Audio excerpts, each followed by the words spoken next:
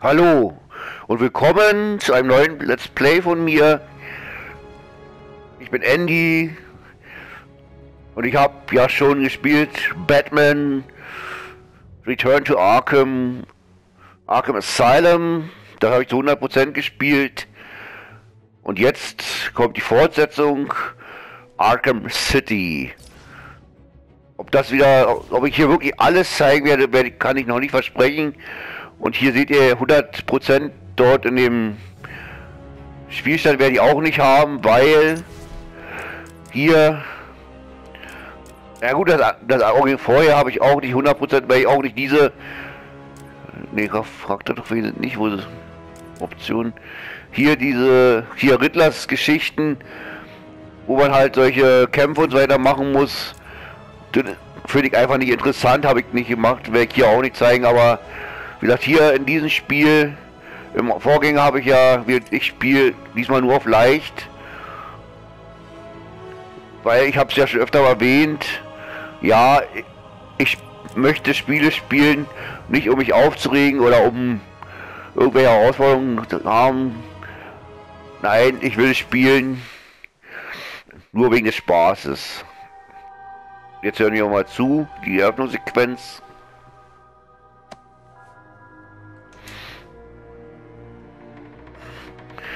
Was gefunden. Nicht anfassen, Mann. Der legt dich um. Wann kommt der Boss denn endlich? Der kommt schon. Riley sagt, er hätte Batman gesehen. Ist er auch hier? In Arkham City.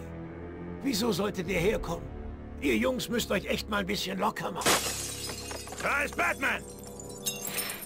Nein. Was zum Teufel? Tut mir leid, euch enttäuschen zu müssen. Es ist nicht Batman. Wir sind Selina Kyle, besser bekannt als Catwoman. Wir können kontern, sie kann alles, was Batman natürlich auch kann, kontern und...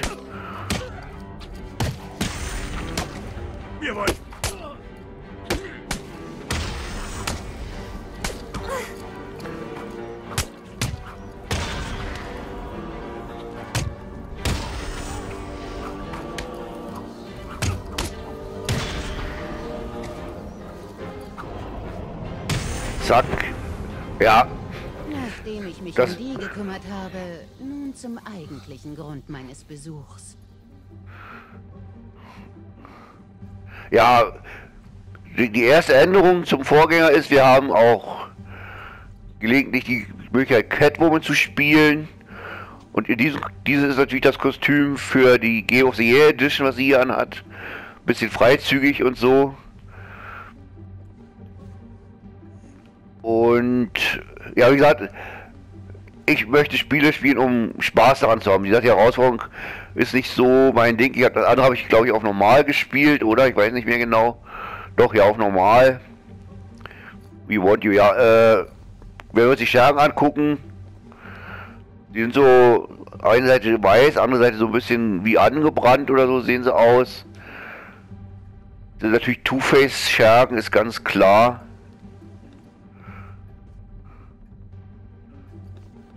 Aber Want You war seinerzeit, glaube ich, eine Werbung für die Armee der Vereinigten Staaten irgendwie oder sowas. Oder zur Wahl, ich weiß nicht genau. Und ja, ich habe dieses Spiel auch schon im normalen Modus durchgespielt, aber es hat seine Schwierigkeiten, weil man gegen sehr viel bewaffnete, also mit Schusswaffen bewaffneten Typen antreten muss. Ja, hier gibt es noch nicht viel zu sehen. Wir gehen einfach mal hier zum Tresor, was wir machen sollen. Und die können Batman doch relativ schnell töten. Überzuziehen, Harf. Das läuft nicht. Ja, sie sucht hier eine Speicherkarte. Nimm sofort deine schmutzigen Pfoten da weg.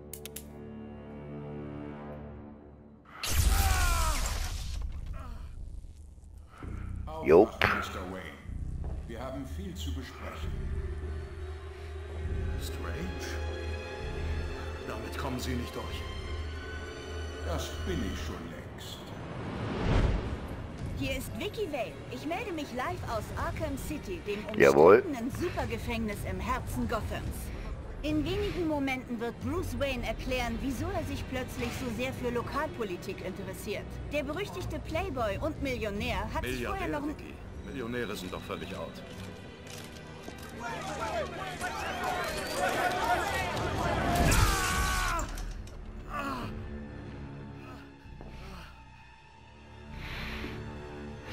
Ich nehme an, Sie hielten sich für unantastbar.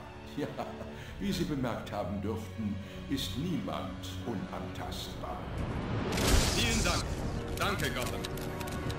Hinter diesen Mauern hier tragen Bandenführer inmitten unserer einst großartigen Stadt einen blutigen Krieg aus. Jeder Insasse aus der Arkham-Anstalt und dem Gefängnis von Blackgate wurde in diese Anlage verlegt. Wie soll das einen Beitrag zur Sicherheit von Gothams Bürgern leisten? Schließen Sie Arkham City. Es ist außer Kontrolle. Ich soll es schließen? Spätestens morgen bin ich ein Held. Genau wie Sie. Batman. Von heute an unternehme ich alles, um Arkham City zu schließen und Gotham wieder sicher zu machen. Umstellen! Nintendo Wayne! Wir haben Wayne! Ziel gesichert!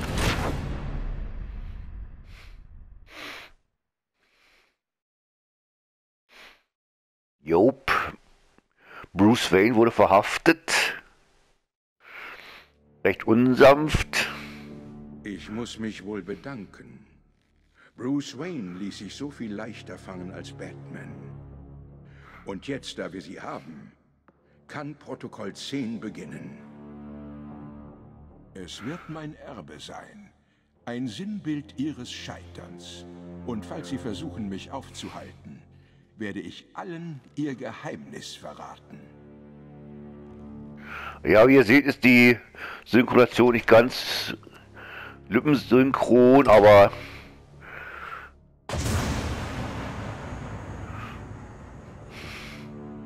ja, wir können uns umgucken. Ja, wir sind gefesselt. Wir sind Bruce Wayne. Ich möchte mich vorstellen. Ich bin Professor Hugo Strange und ich leite die Arkham City Besserungsanstalt. Bis heute haben Sie jeglichen Respekt für das Gesetz, die Gesellschaft und sich selbst vermissen lassen. Von diesem Zeitpunkt an werden Sie nicht länger ein Teil der Gesellschaft sein, die Sie nicht respektieren. Sie wurden von den guten Menschen in Gotham getrennt. Ihre Taten haben dazu geführt, dass Sie hierher geschickt wurden. Sie haben das Recht auf ein normales Leben verwirkt.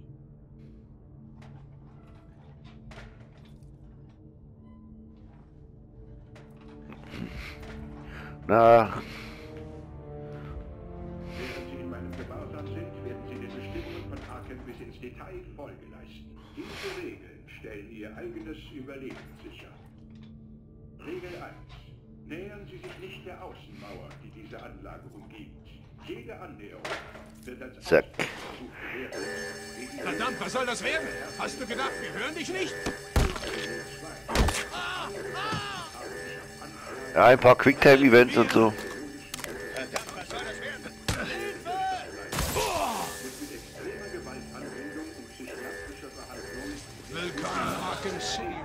Was machst du hier, Wayne?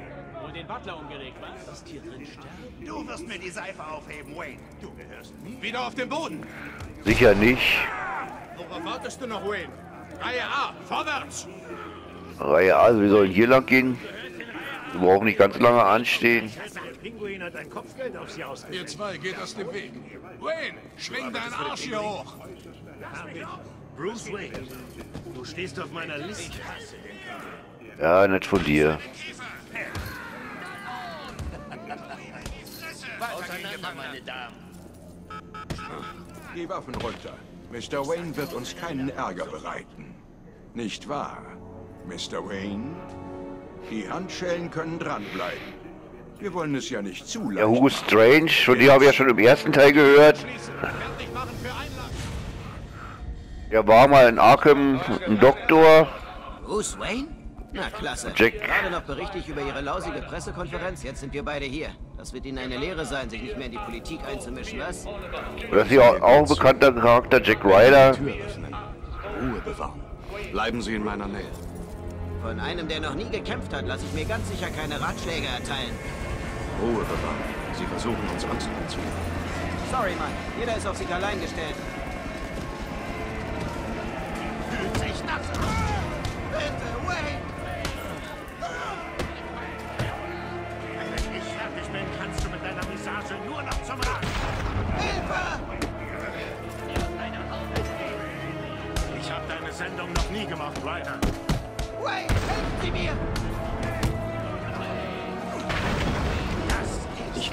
Ryder nicht allein lassen. Die töten. Aufstehen, Ryder. Ich sagte aufstehen. Und der nächste bekannte Typ. Der Pinguin natürlich. Edward. Ich glaube Edward Chesterfield Couplepot oder so heißt der. Licht aus, Geldsack.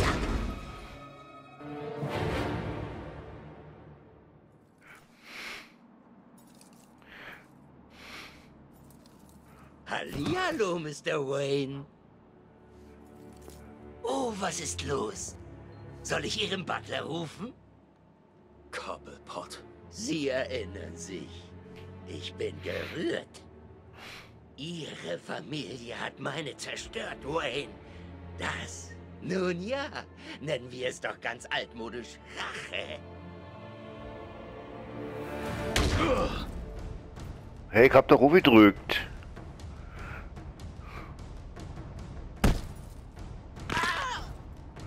Jo, er, mal eben den Pinguin die Hand gebrochen, jetzt haut er natürlich ab, feige wie er ist. Ich glaube, er hat mir die verdammte Hand gebrochen. Hilfe! Lasst mich hier raus!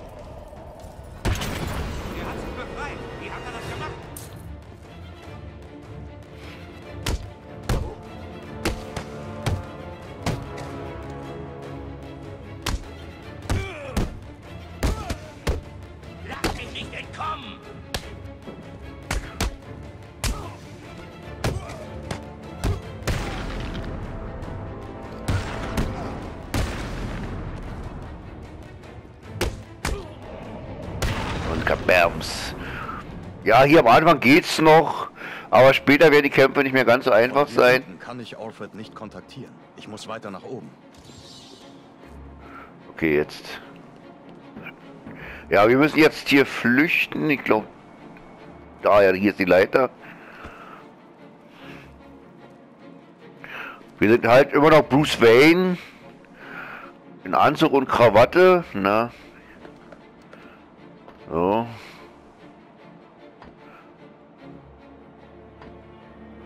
Äh. Rüber? Äh, nein. Ach, da lang, da lang.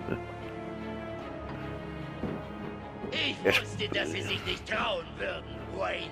er springt ja immer nur an Kanten. Laufen Sie! Klettern Sie wie ein Äffchen! Es wird Ihnen nicht Wir können jetzt halt, wir haben, wir sind halt nur Bruce Wayne und Krawatte, wir können noch nicht viel machen. Aber das wird sich bald ändern. Alfred, hast du meine Position? Gerade bekommen. Es gab mehr Interferenzen als sonst. Ich benötige einen sofortigen Abwurf auf dem Dach von Ace Chemicals. Ich bin auf dem Und Weg. hier, hier sehen wir schon wieder so eine Wand, die wir auch schon aus dem Vorteil kennen. Die können wir später selbstverständlich sprengen. Ja, Ace Chemicals ist das da. Und da müssen wir jetzt hoch. Ich habe in den Abendnachrichten gesehen, wie sie abgeführt wurden. War es die ganze Zeit über Teil ihres Plans, sich festnehmen zu lassen? Nicht ganz. Obwohl mir das ein Vier-Augen-Gespräch mit Hugo Strange verschafft hat. Und wie verlief es? Gar nicht gut.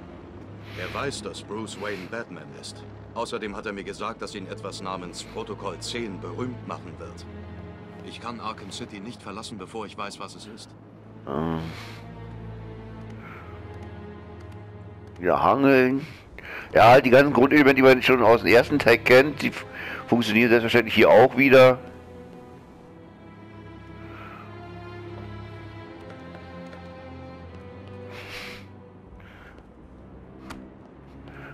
Und... Ups, Entschuldigung, bin ich wieder am Mikro gekommen. Ja, der Batwing natürlich. Der hat uns jetzt hier eine Kapsel runtergeschmissen. Ja, und in diesem... Ja, in diesem Teil der Batman-Serie wird man sehr, sehr viele... Da sehen wir übrigens das Gerichtsgebäude, in dem wir gerade waren, mit Catwoman. Wird auch unser erstes Ziel gleich sein. Werden wir hier sehr viele, einfach natürlich auch Joker von Batmans Feinden treffen, wie wir schon Couplepot gesehen, den Pinguin. Und natürlich auch hier Harvey Two-Face. Und ja, noch viele andere. Und gegen die müssen wir auch mehr oder weniger kämpfen. Aber jetzt werden wir erstmal gucken, was uns der Batwing hier gebracht hat. Natürlich den Bat-Anzug. Und ja, damit werden wir den ersten Part wenden, meine Freunde. Jetzt sind wir Batman.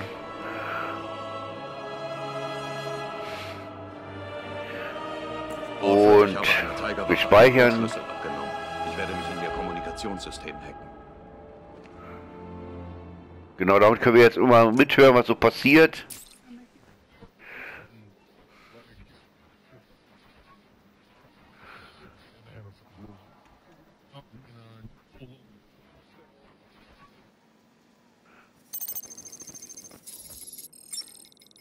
An alle Einheiten, hier Air Tiger 4. Die Gefangene 4011 ist im Gerichtsgebäude. Ich wiederhole, Catwoman ist im Gerichtsgebäude. Ist sie in Gefahr? Bestätigt. Zielperson ist in der Gewalt von Dent. Wir glauben, dass er sie töten will. Wie sollen wir Genau. Schon gut. Lassen wir Two-Face den Spaß. Verstanden. Das klingt nicht gut. Nein, tut es nicht. Harvey, Two-Face, Dent. dürfte Kyle gar nicht gut bekommen.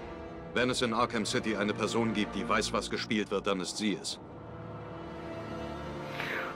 Ja, wie gesagt, Ich das, muss ist- nach Catwoman suchen. das ist unsere erste Aufgabe, sein, nach Catwoman zu suchen. Und wir haben die Batclaw, das Explosivgel,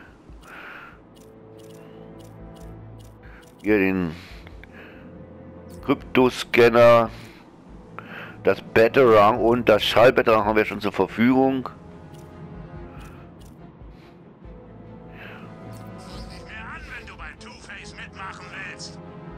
Und mal gucken, finde ich jetzt die Stelle.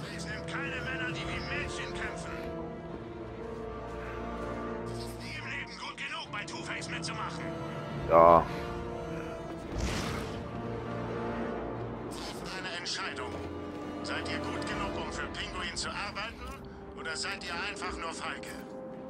Wie sieht's aus? Ich gehe zu Pinguin. Ich habe Joker schon immer gehasst. Ich auch. Gut, dann müsst ihr nur noch die Prüfungen überstehen. also Sünden ist mit. Um Äh, hallo? Dabei werden die meisten von euch verrecken. Ein paar von euch werden sich sicher gegenseitig umlegen, aber keine Hallo! Ach so, hier. Mann, hallo Batman, aber. Mm,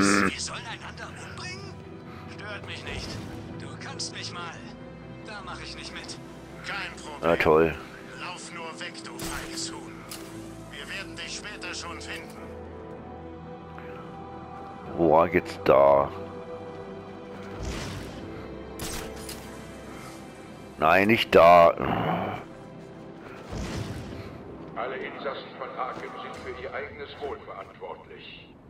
Wo schnüffelt die Fledermaus hier rum? Nein, hallo Batman! Hallo Batman, hör doch mal auf damit!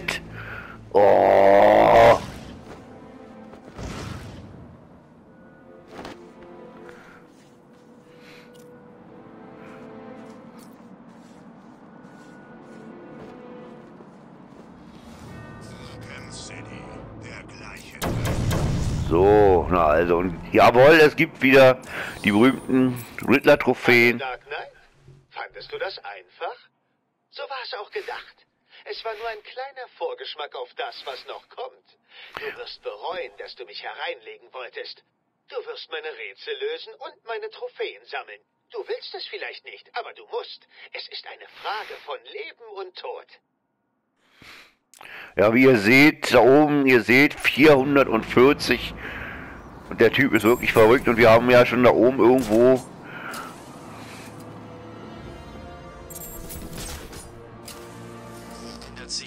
eine Cutscene. Elf Two-Face wäre Teil des besseren Teams. Ja, kann man von hier sehen. Irgendwo habe ich an der Cutscene schon so ein grünes Fragezeichen irgendwo gesehen. Das ist auch, gehört auch zu Rätseln. Da seht ihr zum Beispiel solche Schalter. Joker stirbt. Übernimmt dann der Pinguin. Der ist noch schlimmer. Guck nicht mehr an, wenn du bei Two-Face mitmachen willst. Ja, also ist wirklich sehr, sehr viel Content hier zu holen. Ja, und hier sehen wir ein Terminal, das wir leider noch nicht benutzen können, weil wir noch den, nicht den Code haben, das aber auch sehr wichtig ist.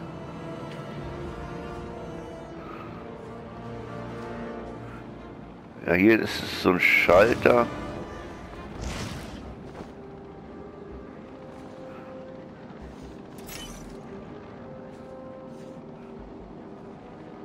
Und wenn wir da runtergehen...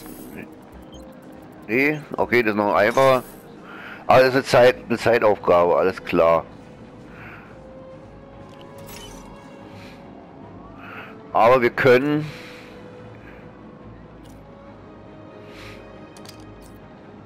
Auch mit der Batclaw einfach das Ding holen. Ich habe schon zwei. Und ja. Ich denke mal, da oben ist ein schöner Punkt. Da schießen wir uns erstmal kurz hoch.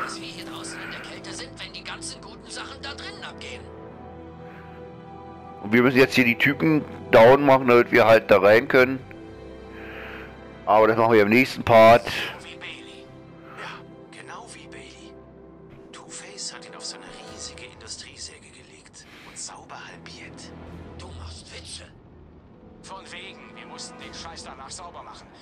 Gesehen, was aus einem rauskommt, wenn man zerteilt wird?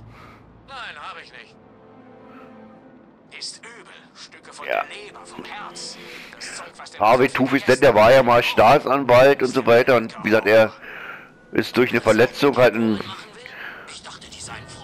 nicht nur geistig, sondern auch körperlich zweigeteilt worden. Und bis zum nächsten Mal. Vielen Dank fürs Zusehen.